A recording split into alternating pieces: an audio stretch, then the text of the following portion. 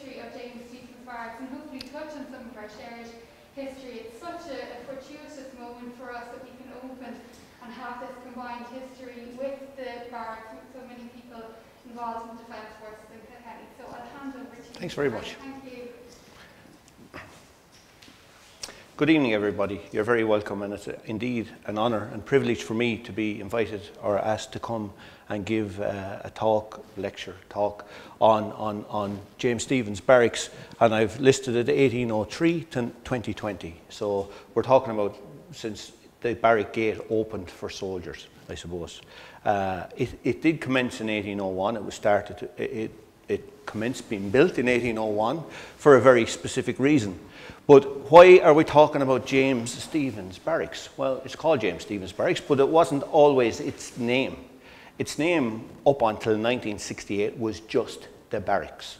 It never had, it never had a name like Victoria Barracks or George Barracks or, or, or any other, say, we'll say, name associated with our pre-1922 history.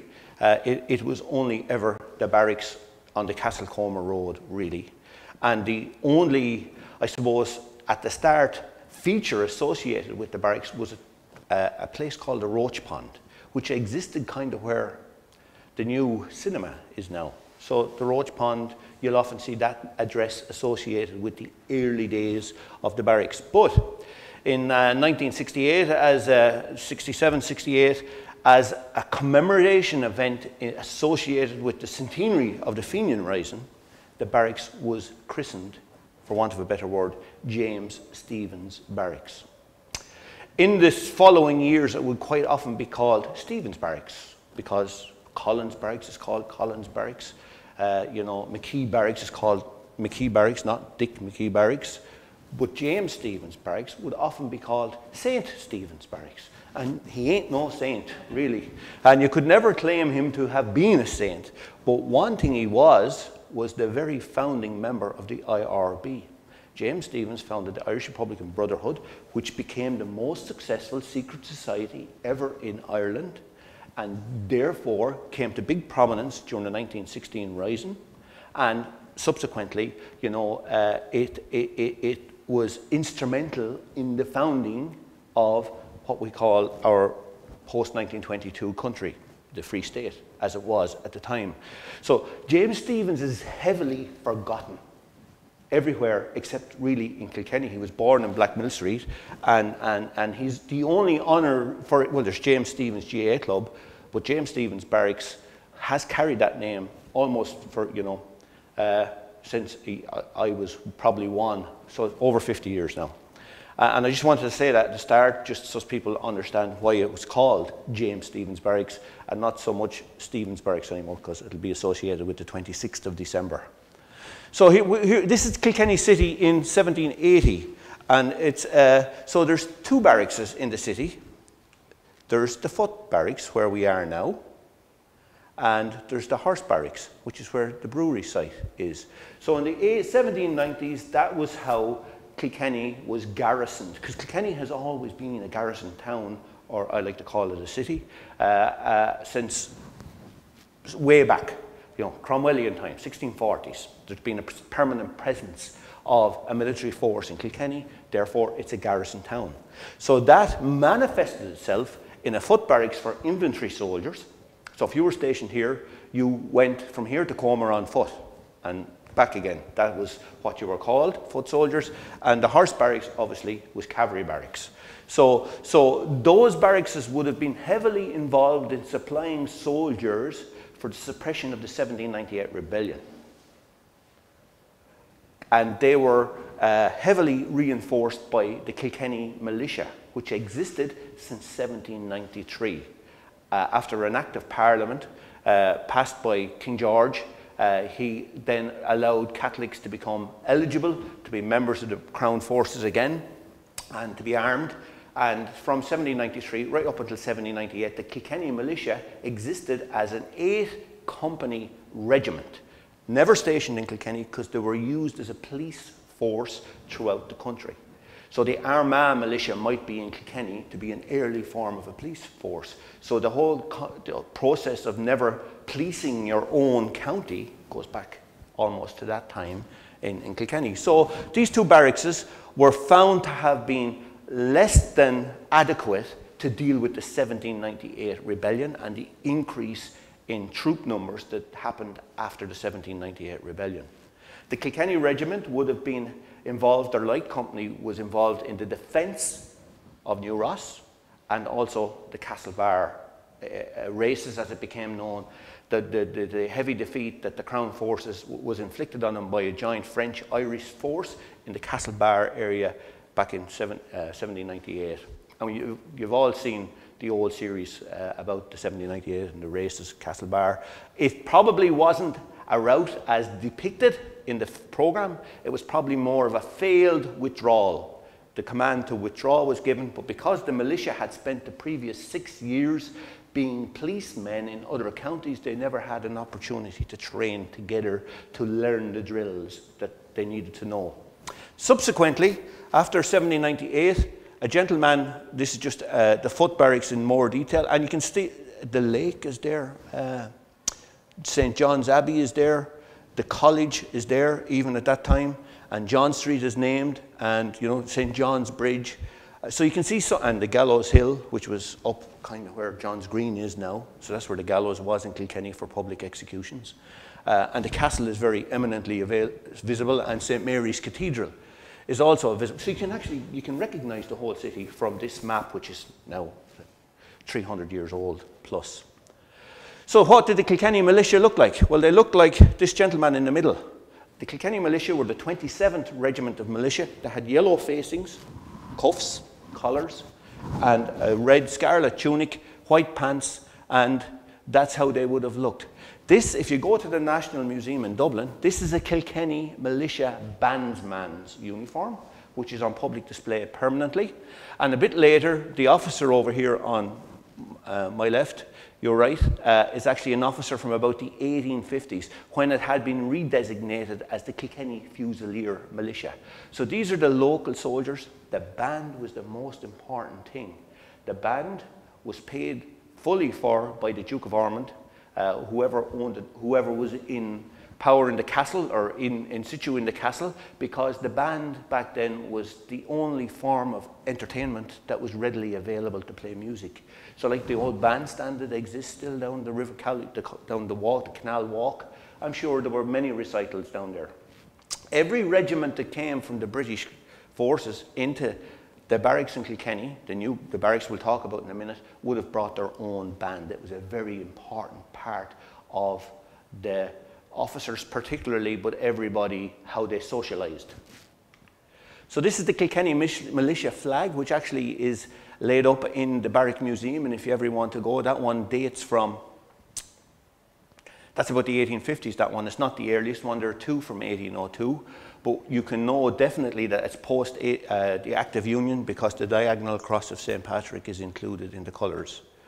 So this is the barracks. So the barracks was built, started 1801, completed 1803. This picture is from 1874 when there were some additions, uh, including the garrison church was added in the 1850s, and some part of the officers' mess here was included in the 1850s also. But the barracks at the start was 16 and a half acres. Uh, it was positioned uh, up on Ballybought Street, uh, opposite, opposite the Roach Pond. Why? Because it was on the high ground in the city. You wouldn't think it now, but when you go, if you go into the barracks, if you're standing in the barracks and you're looking out on the Comer Road, there's a definite 10 foot drop. That side of the barracks was all artificially elevated in 1801, 1803 to give it a dominating uh, uh, picture of the city. And the perimeter wall, which is 12 foot high, has existed since that time. And just to, so the idea of Amelia and the work was that somehow the photography exhibition and work, body of work, would facilitate people in peeping over the high wall, lowering the wall to the point where people can engage with us military people. I have spent 33 years of my life working in the barracks, and for the first 20 of it was inappropriate actually to allow civilians local close access because we had a difficult subversive element in the country, which was dealt with post 1998, uh, and, and it made it a lot easier for us to engage with the public. public. So now, on every possible occasion, uh, within means and capabilities, it's a good idea to invite people into the barracks to see what's going on there. So this is the first image we have of the barracks, and this is 1828, and it's uh, the Welsh Fusiliers. Uh, Susan Garrett from Johnstown, uh, a girl that worked with me in the museum for a period as, a, as a, an intern, sent me this about two months ago. So this is the earliest image that we have of Stephen's Barracks. And, you know, the real focal point, and you'll see it a lot in the next few slides, is the arch, the archway. That's the focal point of the barracks, really. The clock, the clock is in there since 1848. And it it chimes away there. There's a seven day wind on it. One of the lads did a course. Uh, he goes up, he winds it, and the clock works as good today as it did in 1847 48. However, it chimes on the hour, but the, the minute hand is five minutes slow. Know, I, I always said it, it's five minutes slow, so the lads will be a bit late going home of an evening. Do you know what I mean? There's a good thing, but it doesn't work anymore. Everybody, no, everybody knows. So if there's anybody knows a good horologist that could move our uh, minute hand forward five minutes, even though I'm no longer working there, I'm sure the new boss or the boss that's there would appreciate it. So this is the barracks then. So you know the best pictures we have of early, late 19th century, early 20th century comes from the Lawrence collection. He photographed everywhere in Ireland that was worth photographing. And this is one of those pictures from the end of the barracks furthest towards the back gate. So you're nearly, you're nearly uh, outside New Park Drive, the road that's going up past New Park. This back in the day was the artillery officers' mess. And down at the far end was the infantry officers' mess. Artillery and infantry never really got on. Two lieutenant colonels couldn't share a room to have coffee in. Do you know? The artillery officers work down here and the infantry officers work down there. You can see quite clearly the full, uh, in later pictures you'll see that this part of the tower is gone now. I don't know when or where. But, uh, so this here is A block all the way down to F block. So that's enlisted soldiers' quarters, A to F block. Back in 1820s, an infantry soldier, a private soldier, was entitled to 28 cubic feet of space. So 28 square feet on the floor. Wide enough for two planks and a little bit and long enough for his legs. It wasn't a whole lot. Uh, an infantry officer, on the other hand, was entitled to 580 square feet of floor space. So, you know, uh, I, I can talk as somewhat of an expert on the difference between ranks because I was a private, I was a corporal, I was a sergeant, I was a lieutenant, I was a captain, and I was a commandant. So I, I can come through it. But sometimes the loneliness of command is harder to deal with than a room full of fellow soldiers because the camaraderie in a soldier's billet is top class. Do you know? You just get on with things. And then you find yourself as an officer in a room on your own in the Lebanon saying, just I wish I could go down and talk to the lads. Do you know? It, it, swings and roundabouts. Some people dig it, some people don't. Personally, I, I would rather be in, in, in A block there uh, with a potbelly stove with 12 lads around it trying to keep warm in the winter, which I did back in the 1980s, than in the officers' mess with central heating. But that's just, that's just it. So this here then is the artillery soldiers getting ready to leave the barracks to go to the Glen of Imaal for a summer. So there's no point in getting up on your horse and cart and dragging your guns to the Glen of Imaal for a week-long shoot because it'd take you a week and a half to get there. So this was them leaving and going off to do their annual range practice. This is the back of the barracks. So this is the back buildings which lead on to the back, the, the road. And this here is what we know now as IJK block. And it was called IJK block back in 1802 or 3. Uh, and that there was the horses' stables. And the lucky soldiers, the artillery soldiers, got to sleep upstairs under, over the horses. Why would that be an advantage? Tell you why. The heat of the horses was like central heating to a point. I wouldn't like to rely on it too much, but it was. So they had the best accommodation. Now, around the corner, which we can't see, there's a, a, a building which is half uh, sort of an, a farrier shop, and half it was the artillery soldier's kitchen. And in that would, could work up to five ladies, and they had to be the so wives of five soldiers in the artillery regiment who were allowed to get married by their CO. I'm not saying anything about it, I'm not saying it's right or wrong, that's just the way it was. Back in the day, back in the 1820s, the, the best piece of literature to read about the army, the British Army in Kilkenny from 1800 to 1870 is a thesis written by Liam Bulger from New Park Drive. It's fantastic. And Liam says in it, uh, this is how he, he, he uh, talked about uh, officers had ladies, sergeants had wives, privates had women. That's how it was deemed back in the time. So I'm not going to tell my wife she's ever was a woman. She was always a lady. So I'm not going there. But there was a big class distinction back in the 1800s, as you well know, and it was no different in the army. In, abs- in actual fact, it was magnified in the, in the army, to be honest with you. So this is the barracks then. Uh, it's, a, it's again another one of uh, the Lawrence collection, which I added colour, which hasn't come out superbly here, but this is the other end of the barracks. This is the officers' mess. So that would be two officers probably glancing at a number of soldiers on the barrack square where they would have been doing their drill. Again, A to F block, officers' mess, and this is known as the White House. So the White House in the barracks is where the battalion commander has his office. Now it's known as the White House since God knows, I don't know when, it was probably painted white one time and it became known as the White House. It's now a sort of a sandy yellow colour, it's still called the White House, do you know? Uh, it's nothing to do with the White House in America, but that's what it's called. And there are a number of other arches here. Didn't have to be built in, but they were built in to make the architecture look more symmetrical. So you have an arch here, and down at this end you have another arch. You have the main arch here, and there's another arch which we might see in a minute. So this is probably one of the best pictures of uh, A to F block again. Nice dome on the, the clock is here. Gas lighting, and even at that stage, there was an attempt to put some uh, uh, uh, trees and stuff. Every British regiment that moved into an army barracks, one thing they always sowed was a walnut tree. Why? Because in a hundred years' time, some regiment would have walnut to make a stock for a rifle. They were never thinking short term here. This was thinking into the future, into the future, into the future. I'm not saying that was a walnut tree, but uh, in actual fact, we don't have walnut trees in Kilkenny anymore, but there is a lovely one in the closed barracks in Clonmel. And then this is just a, a, a view of the barracks from the air taken in the 70s. And, you know, we have done a lot to, to turn the barracks into something that is uniquely uh, aesthetically nice to look and work in. So the gardens are very heavily developed now uh, way beyond even what they were here. You can see the Irish flag flying. It now flies at the other end of the barracks. Here you can see the church. Uh, outside the church here, which is knocked down about 15 years ago, was called the schoolmaster's house. That's where the school teacher uh, lived.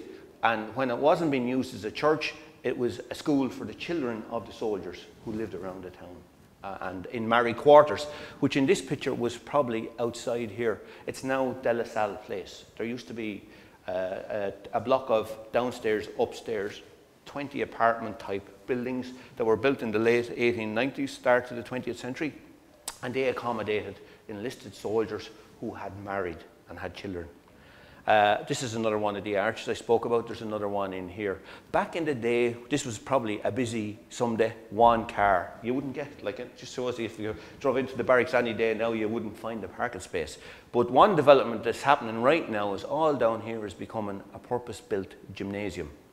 Uh, this is the, it was the Sergeant Major's house back in the day. It's now the medical aid post. It's where our doctor comes in every morning. And, and this is what Amelia got, the significance of it all. Here we were, a barracks surrounded by a 12 foot wall within which a person need never leave to live a life.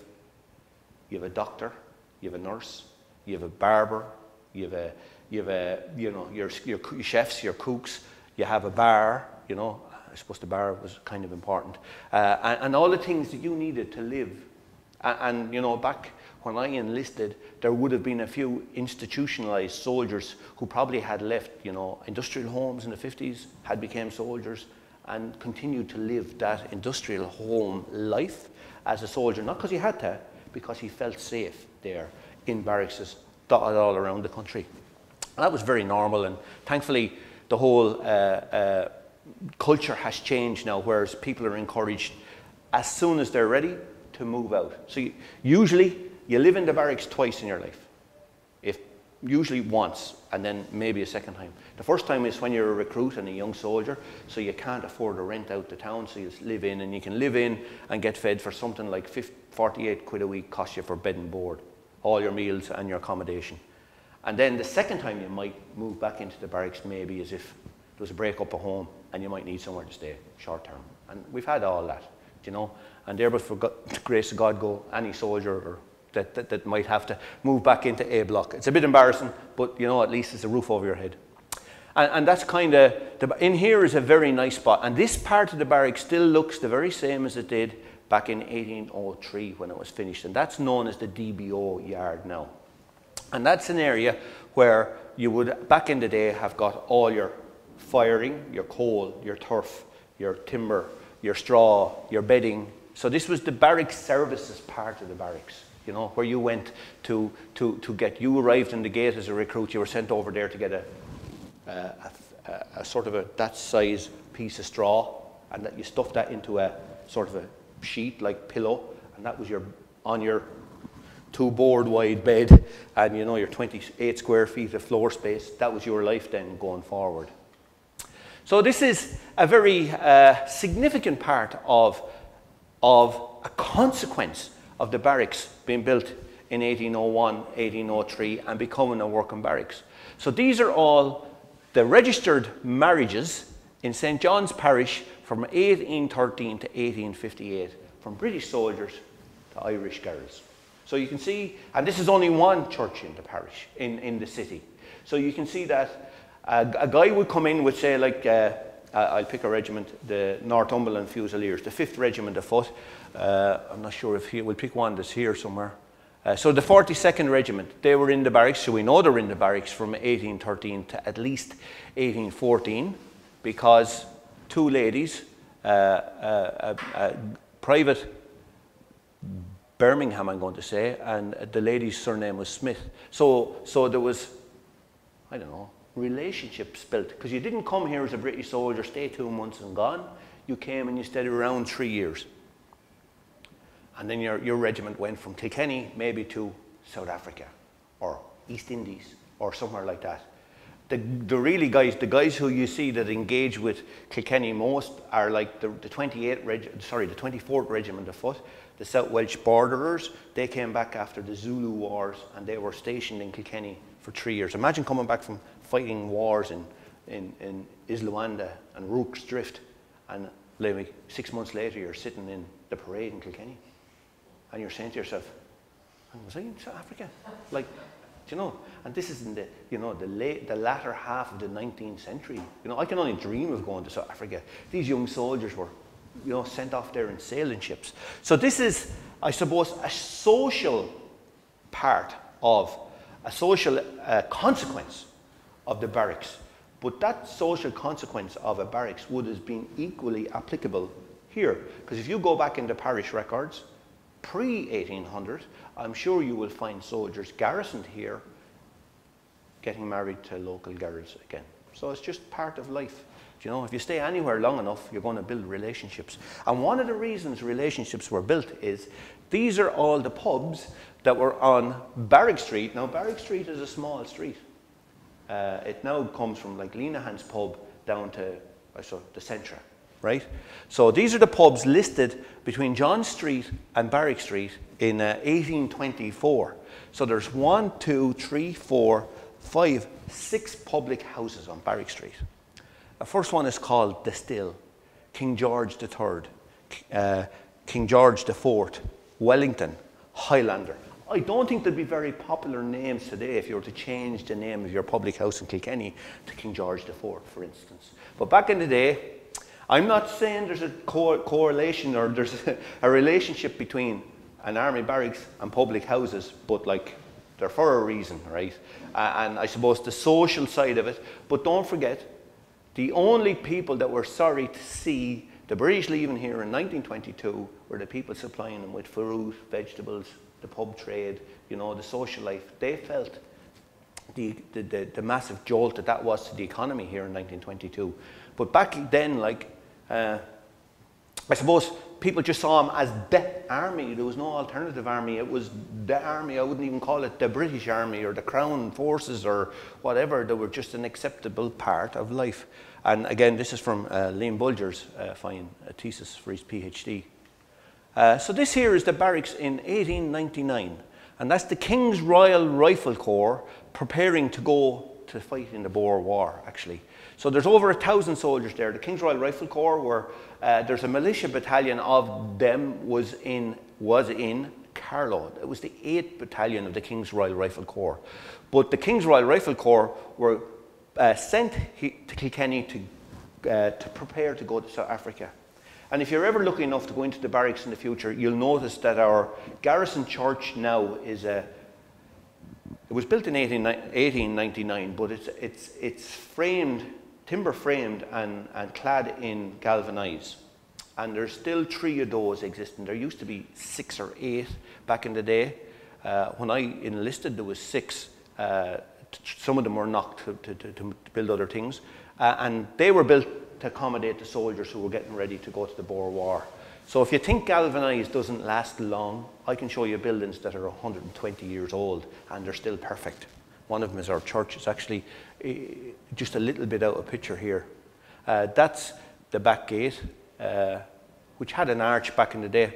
Uh, and this is the White House now, as we're, as we're talking about it. And as you can see, the soldiers are here. They're still in Kilkenny, but they've already been issued. This is obviously an inspection day. They've been issued with their uh, South African pit helmets. And you can see the band. Like every good regiment, the band is out to one side. And these are just onlookers, locals maybe, who would come in to witness or watch the parade. This gentleman here, Lieutenant Colonel Buchanan Riddell, uh, that's him here on his horse in the barracks and uh, with the arches behind him. Now, who would have thought in 1899 that he would have died on the 24th of January 1900 uh, attacking? Spion Kop was a famous battle in, in, uh, in uh, South African army terms, military terms, and that man was on parade in Kilkenny, and four months later, he was dead. That's simple as that. He's commemorated by a wall plaque in St. Canice's Cathedral, up very close to the altar on the left hand side. Uh, and God knows, a large number of his soldiers died that day too, but I just hadn't time to do the research. So what we're talking then, so these are two gentlemen who would have definitely, uh, uh, the man on the right, left, my left, is uh, Private John Barry, uh, born in 1872. Uh, He's awarded the Victoria Cross on the 8th of January 1901 posthumously. So here's a Kilkenny born man from Upper Walkin Street uh, who would have enlisted in the barracks. I can't say for certain because can't find his records. But he was a Kilkenny man who enlisted in the Royal Irish Regiment and their militia headquarters was in Kilkenny. Having already in 1881 became the, uh, the 5th Militia Battalion of the Royal Irish Regiment, and that's why the Royal Irish Regiment is heavily associated with the southeast of Ireland. It was the territorialised regiment in the southeast post 1881. So you had the Royal Irish in counties of Wexford, Kilkenny, Waterford, Tipperary, the Munster Fusiliers down south, you had the Connacht Rangers, you had the Dublin Fusiliers, the Leinster Regiment, you had uh, the North Irish Horse, the South Irish Horse, uh, the Enniskillen Fusiliers, the Royal Irish Rifles, and the Royal Irish Fusiliers. They were the Irish regiments post 1881. So John went off, and his last living act was to disable his machine gun to prevent it falling into the hands of the Boer attackers, uh, therefore saving multitude of his comrades' life. Frederick William Hall was born in 1885. His father was the band conductor, Sergeant Major F. Hall. Uh, Frederick was born in Upper pa Patrick Street, or his house was Patrick Street. He was probably born in the barracks because his mother was obviously the wife of the, the conductor, and they would have been looked after in the barrack hospital if they had needed. Uh, Frederick William Hall again warded a posthumous VC, having died in action on the 24th of April 1915, saving one of his comrades' lives. Uh, who had been overcome by a gas attack. Frederick crawled out of uh, his trench into no man's land. Being a company sergeant major, uh, lifted up his soldier to try and get him back, and he was shot dead by a sniper's bullet. Two Kilkenny men, both killed in action, saving their comrades' lives, both deeply associated with the barracks and 100% Kilkenny citizens. So this is uh, February 1922 when the barracks is handed over by the British Army officially to the Kilkenny Brigade of the IRA. The man that took over the barracks that day is a fellow called a man called Brigadier General George Dwyer. George is a coon man, uh, and, and uh, uh, he led the brigade in to the barracks. Uh, the first, when the British withdrew, the Devonshire Regiment withdrew, they chopped down the flagpole. They always do that. But the lads knew what was going to happen because a fella called, uh, I'll, I'll, think of his name in a minute, they, they, they had uh, uh, a poplar tree knocked down and fully made ready to become a flagpole. So that was brought in and it was plant, not planted but buried into the ground and the first tricolour was flown in the barracks uh, on the 7th of February 1920, 7th to 8th of February 1922. And you know, from that day on, the barracks has been a permanently occupied post of the Irish Defence Forces. First as a national army, I'm going to call them, because, right, so here the first thing is George Dwyer was pro treaty. So the barracks never became aligned to the anti treaty section, even though the Civil War nearly started in Kilkenny in uh, 1922 when uh, uh, anti treaty aligned Republicans took seven locations around the city and created a major uh, situation for the National Army. Uh, it was resolved mostly by negotiation. The guys were taken prisoner, brought into the barracks. They were incarcerated in the church, the proper church, that became their prison, and they were released a few days later after they signed an agreement that they wouldn't fight again. Uh, uh, and, and then, subsequent to that, it became uh, General Prout's headquarters of the Waterford Division, which moved down through uh, Clonmel into Carrick-on-Suir and pushed the Republicans back into the you know, the Knockmealdown Mountains. In actual fact, it was one of General Prout's soldiers that fired the fatal shot that mortally wounded Liam Lynch in the Knockmealdowns Mountains. So, therefore, ending the Civil War for, want of, uh, for all intents and purposes. So then, uh, so then we move into uh, our emergency time. We're very good at language in Ireland, aren't we? We can't do war, right? Because when the whole world had a Second World War, we had an emergency. We had a civil war in the north of Ireland for 30 odd years, and we called them the Troubles. It's like we're not minded to be very military. And that brings me to just mention that, you know, really the defence forces within Ireland are understandably and always seen to be very subservient to the state. You will never find a soldier having an opinion of a political event, act. They won't, you won't get it. It doesn't happen. We are, we are the, the I was, the Defence Forces is very, uh, it's there as Ireland's insurance policy. You know, we, that's the best way I can put it. Whatever it is we're needed, and in the last decade we've been more needed to aid the civil authority, in other words, the county council, the county manager, than we have been aid to the civil power, assisting the Gardaí with armed escorts. No, we don't do that as much, but we're still uh, very alert and aware and prepared for aiding any uh, event that happens in, in the country. So this is the emergency, and Kilkenny was actually had more barracks during the emergency. Like the barracks was obviously a barracks. Uh, Jenkinstown, if you ever walk around Jenkinstown and you notice the trenches there, they were dug in the Second World War as sort of defensive positions. Like Jenkinstown was an army post. There would have been an army post in Callan. There was army posts in lots of parts of the county. But the thing was, like, the only, like, okay, they got, some of them got paid, but most of the guys were LDF, local defence forces, and guys that done it as a part time or quasi full time. But all they really got at the end of it all was a nice, they got a medal, your emergency medal. You might find one in your house. It's, it's a, a bronze coloured medal uh, with a red and white ribbon. Uh, lots of our ancestors were, were, were awarded them at the end of the emergency. And then, do you know, the, the, the barracks post, uh, it was 6th Brigade in, in the 1960s with a company of the 3rd Battalion, a company, the 3rd Battalion. And then when the troubles really became uh, uh, unmanageable for a period, not unmanageable, difficult to manage, three new battalions were formed, one of them which was the 30th Battalion, which proudly had the colours of Kilkenny and the city crest within its emblem. That's the unit I enlisted. No, I enlisted as a recruit here and I was posted to the 30th Battalion where I stayed from 88 until it was disbanded in 1998. And the headquarters of the 3rd Battalion moved to Kilkenny in 1998 and it's still there today.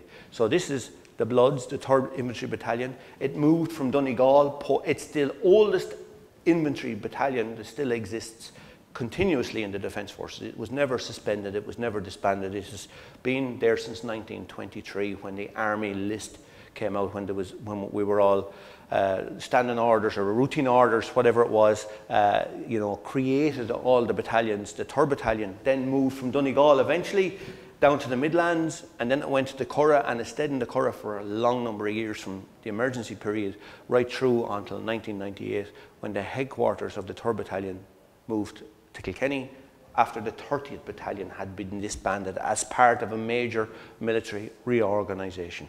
So I went from wearing this badge with pride to wearing this badge with initially not so much pride, but very much, I'm, I'm you know, uh, the red hand of Ulster is a very unusual symbol to see in an Irish Defence Forces uh, crest or badge, but that's the way it is. It came from northwest Donegal. Its heritage is in the badge, and we bring that heritage into the, heritage into the 21st century. Our modern soldiers look as good and are as good as any soldiers you'll find anywhere. Uh, these guys won the Cambrian Patrol, a big uh, competition in Wales.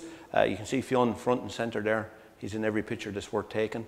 But uh, we come on now to a little bit of Amelia's uh, fantastic uh, collection. So these are veterans. Uh, General Mangan, Colin Mangan, whose grandmother was actually Winifred DeLoughry, who was Peter DeLoughry's sister. And Peter DeLoughry was the 2nd Brigade commander of the Kilkenny IRA, went on to be a senator and a TD. Uh, and then looking over on the other side, you'll see, I'm very proud of that picture because my father-in-law, God rest him, John Doyle, uh, he only died uh, just over 12 months ago, last Saturday actually. Uh, John didn't live to see the collection. He was very proud of his military service. Uh, he did 23 years in the army. He wanted to leave after 21 because he couldn't, because he had enlisted at 14. So he had to make up the time. He was too young to retire with a pension at 35. Do You know, it was amazing. Mind boggles. And Kevin alongside him, another veteran. John is a veteran, was a veteran, God rest him, of the Cyprus.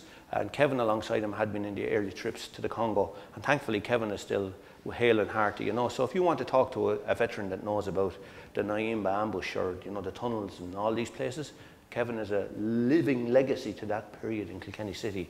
And here he is now immortalised in a fantastic picture. And these are just, uh, so I just put these up, right? Mechanic, uh, J1, or I'm going to call him, he's, he's not J1, S1, works in the staff office, administration. But if you have no administration, you have no pay, have you? If you've no administration guy doing the books, how are you going to know how much leave you have left? Vital cog. Vinny DeRuccio, uh, an excellent medic. Uh, our barber, uh, Private Doyle, and uh, she's going to kill me now. I can't remember our girl's name. I had it a few minutes ago in my head. That's a young soldier uh, from uh, in the army about two years now. So you can see what I love about the, all of Amelia's I'm going to call them paintings, works of art, is that even though the same wall is in the background from all, it's all completely uniquely different. It's a, it's a backdrop that just lent itself to uh, showing soldiers off in, in their natural form. Like Vinny stands like that all the time. He's a world champion kickboxer. Don't ever get in a ring with him. You know, Drew, weightlifter, Uh, Private Doyle is big into his fitness uh, as well. So, and they're all, they're, they're, they're all, Megan, that's Megan, Private Megan, something, Megan, uh, and uh, she's big into her fitness as well. And then, you know, the crude weapons. This weapon will fire 1,500 meters and, uh, with lethal force. And we'll never probably fire that in live. Please God, we won't. In, in, on, in Ireland anyway, maybe even in defense of ourselves somewhere overseas. But all our guys are experts in what they do and this is, this is a crude weapon. Uh, and that's, uh, this is Private Craig Wall. Private Wall's grandfather is John Doyle, so there's a legacy and connection, a, a continuation in military service that exists within Stephens Barracks, James Stephens Barracks now, into the community. Because we're not garrisoning the town, we're garrisoning in the town. We're all part of our communities.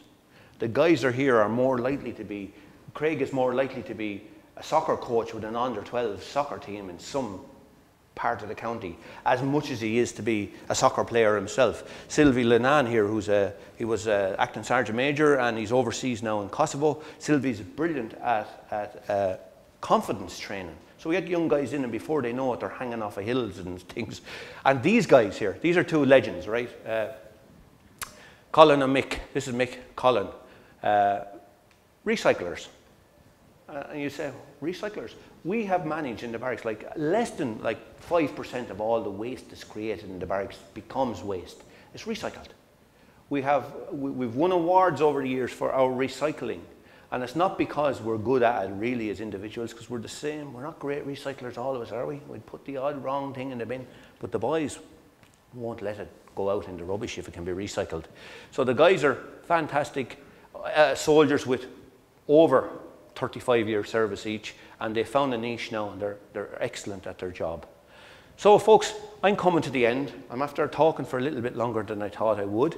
Uh, this is the barracks, resplendent as it is today. Uh, the photo's lost a little bit of its definition and been blown up, but you can see we no longer have our nice cupola. It's gone. Somebody back in the day decided when they were renovating the the chimneys on this end that it was okay to do them in brick. I'd love to get them rendered now so that they look like this side. That's just me. Uh, it's a Georgian building, don't forget that. Uh, we lost all our lovely sash windows. Uh, John Root brought them all off there about 20 years ago. I'd say if we'd cry now, we'd love to get them all back. You know what I mean? Sash windows, like they're, they're valuable beyond their actual what they are. And uh, even inside the officers' mess, the sash windows inside still have the storm uh, cl close over their timber, like timber, like like uh, timber curtains, except they just pull out and close. They're still there for the last 220 years. So with that, folks, I'm going to say, are there any questions, please?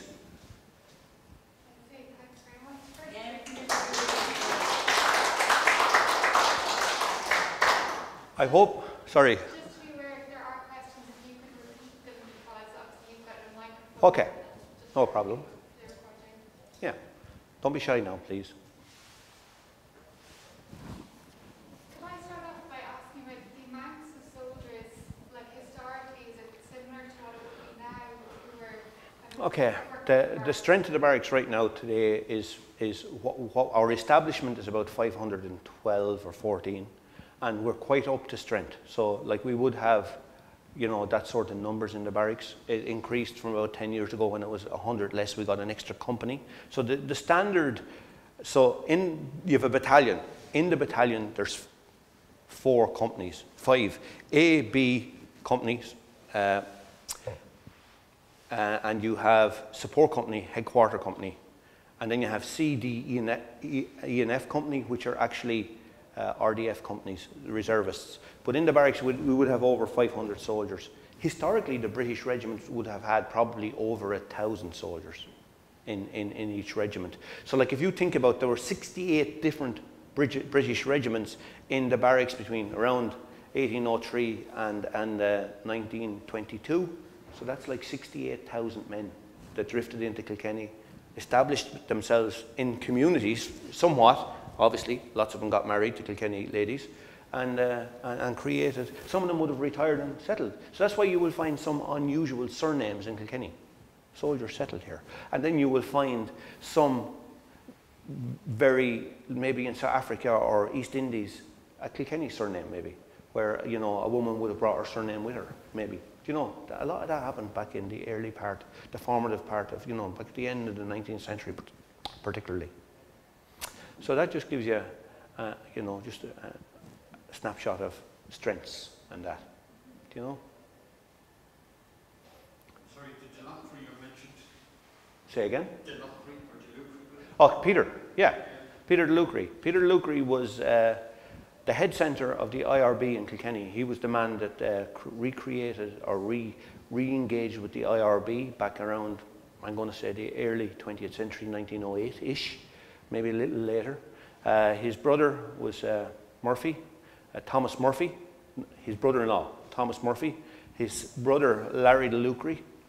Uh, also, another friend of his was Jimmy Lawler from Friary Street uh, Ned Comerford from Wellington Square, all IRB. These guys were the guys that were very actively involved with the 1916 insurrection, uh, the rising in Dublin. The GHQ man that was sent to Kilkenny to, to control and lead the activities south of, we'll say, Kilkenny South was a fellow called Ginger O'Connell. And Ginger O'Connell unbeknownst really to the head IRB men at the time, was more aligned with Eoin MacNeill and Bulmer Hobson. Therefore, he didn't really push, push the 1916 rebellion in the Kilkenny area, and all the guys were arrested and deported to Frongoch, came back, and then they became more actively involved because what Frongoch and the other places in Wales and Ireland, Richmond barracks allowed them was to, for the first time ever, all sit down together and to understand how they went wrong. That the 1916 Rising, for me personally, had a chance of success. We underestimate the success of the 1916 Rising. Okay, they tried to hold uh, parts of Dublin, but they did build a good cordon, if you look at it from a strategic sense, co-located almost to a location with a hospital of some description, and with interlocking arcs of fire. It's just that they didn't have enough ammunition and weapons, really, to, to push it. Like the loss of the odd was astounding to the success potential of the 1916 Rising. But Peter would have came back then and led uh, the Kilkenny uh, rebuild and, and uh, was very active in, in the leadership role in 1920, 1919 to 1922 in Kilkenny Brigade area. Yeah, yeah, he is. 1919 in Lincoln Jail. Peter fabricated, he adjusted the key that had been sent in in a loaf of bread. The, there was a loaf of bread baked in Kilkenny here. The foundry, there was a postcard sent home at Christmas with a drawing of a key. And in that key, that picture was the dimensions of the key they needed. So the, the people in his foundry, the Lucre's foundry on a new building lane, was used to fabricate a key. Now, there are other stories, but that's the one I like to believe. That key was put into a loaf of bread, and that loaf of bread was posted to Lincoln Jail. It got through the system, and Peter adjusted the key to facilitate and allow uh, De Valera to escape. Yeah, another great Kilkenny story that's nearly forgotten in time, do you know? And associated with the barracks, and that Peter would have been locked up in the barracks prison for a period of time during the, the, the, the 1921 1922 period. Yeah, yeah. Peter was a senator first, and then he was a TD. Uh, and uh, unfortunately, he died young. He's actually buried out in Thornback Cemetery. He's, I was, believe it or not, last week I visited the cemetery to have a look at the, the grave. He's, he's out there and TD, senator. Yeah, Fine Gael party, uh, true and true, which is kind of a little bit unusual. I'm not saying this in a real sense, but to be in the IRB head circle to go and be in the Fine Gael party, you wouldn't likely have been more aligned to the Republican side. I'm just saying it, but uh, uh, he wasn't and didn't. no? Now that you've retired after several decades of working with the defence forces, what's the best thing you can remember now of your life that, that whole period? Uh, I'm going to say uh, Right, that's a good question. And I haven't been asked that before because this is the first time I've ever been addressed as Commandant Larry Scallan, retired. I've never heard it before in public. Uh, but the best recruit training is a high point. Uh, but the best feeling I ever had was coming home uh, from overseas, probably on my second trip. Because on my first trip, I was just too awestruck by the whole thing. Because in the early days, you had no, there was no phones. You wrote aerograms, you know, and uh, I was coming home my first trip. I was young, free, single, and I was just coming home to go socialise. When I was coming home off my second trip, I was coming home to my future wife. So I suppose that's a real high point when I think about it, you know. And you traveled a lot, did you? Uh, eight tours, eight tours overseas, yeah. Seven really, uh, which I got medals for, and one trip overseas was with the Nordic Battle Group, which deployed to Sweden for a period of time to train to be ready to be used as the EU battle group for that period, standby period of six months. That was another in, nice time. I was up in north of the, north, well, in the North Pole vicinity, you know. We were driving around in the snow for three or four weeks doing a lot of work. No, it wasn't just all driving.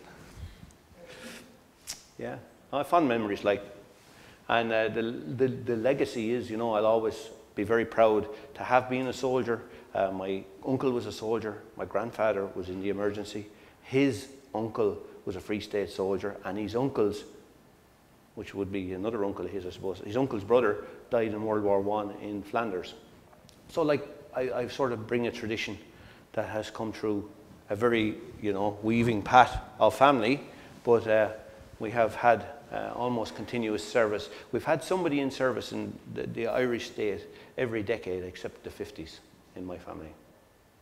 You know, and it's continued now by two nephews uh, uh, and a, a third enlisting the 22nd of September and a fourth girl this time who is doing her medical on the 22nd of September. So the family tradition is strong.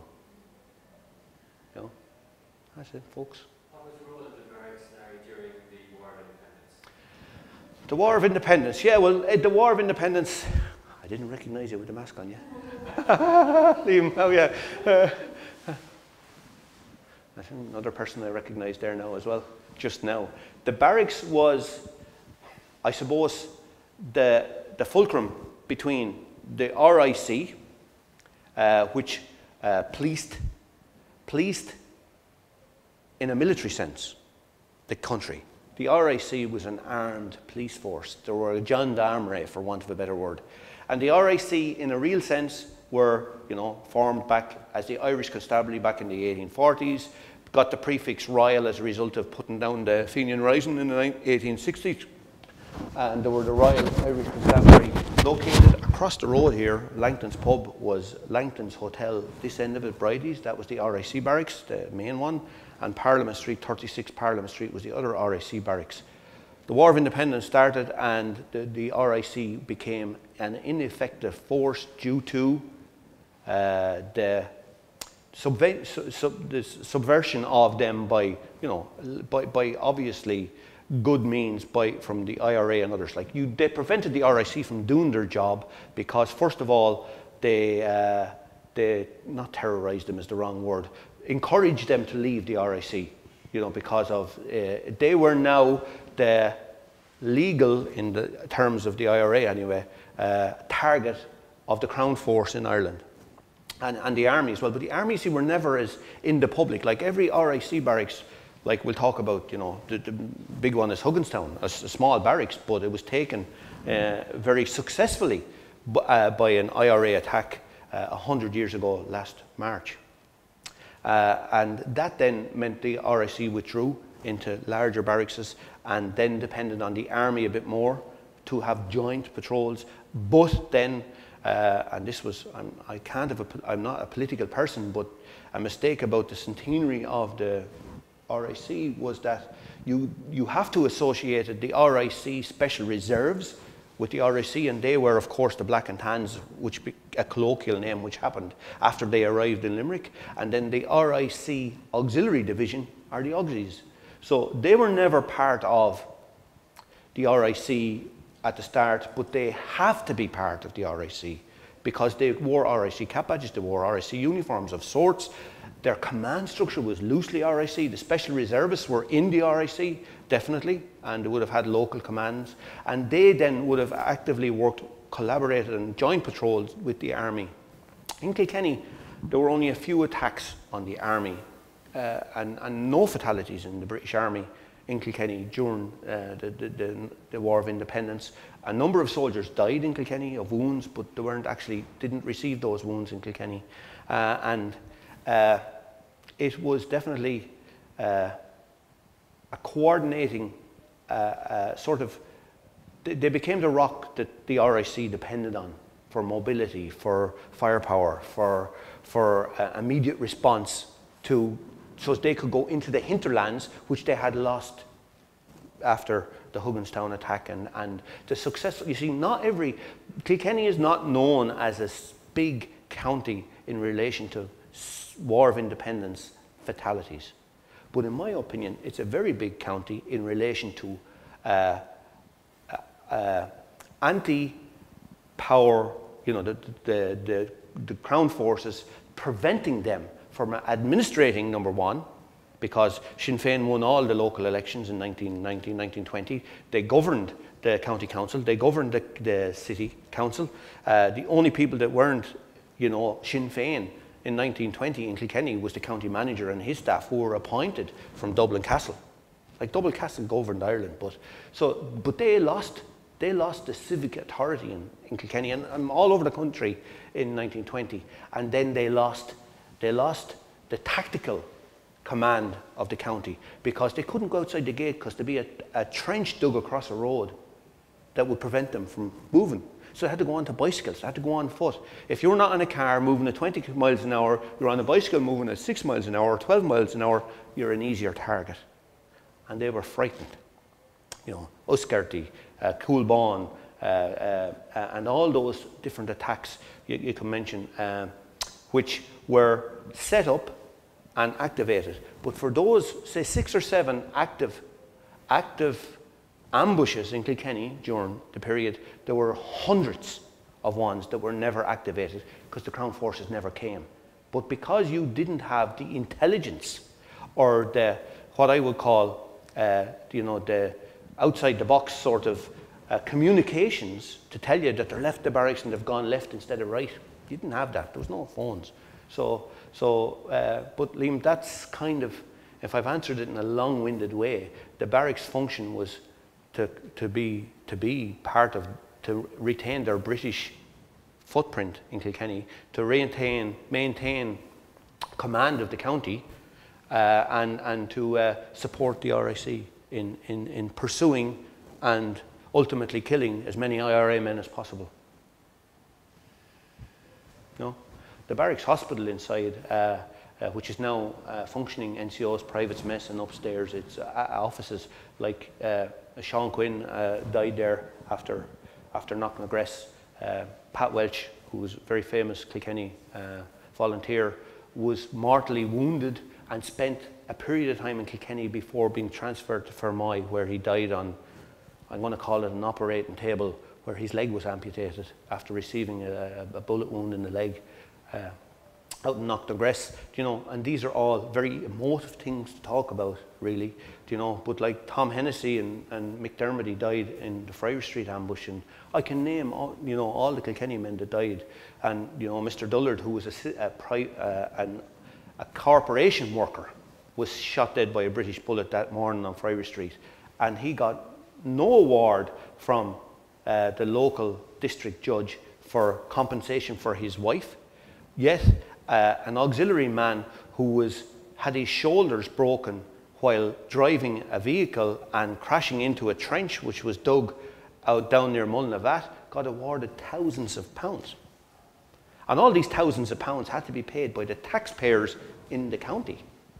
No, there's total, in, you see, the, the judiciary were still British. It happened then in 1921 that everybody stopped going to the judiciary because the Republican courts were better.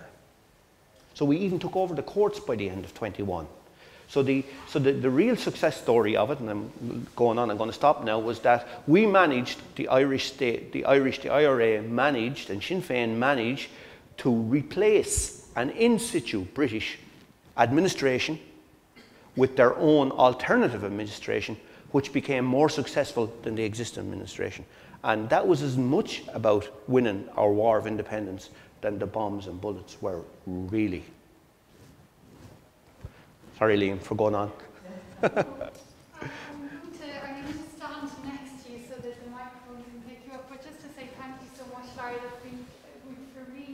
Thank you for the history of this building and our connection to such an excellent overview of the history of the barracks and the military in Ireland over the last, well, 200 plus years. So thank you so much. It's been really excellent. Pleasure. Thanks, everybody. Thanks.